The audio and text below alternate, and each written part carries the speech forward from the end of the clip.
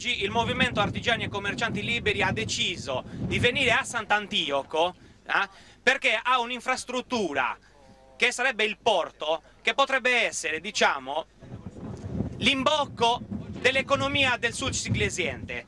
Un'infrastruttura che la regione è ora che prenda provvedimenti e decida di autorizzare il, la, la trasformazione. I sogni devono diventare realtà. Visto e considerato che noi siamo la provincia più povera d'Italia, è ora che prendano provvedimenti immediati. E con questo concludo, grazie.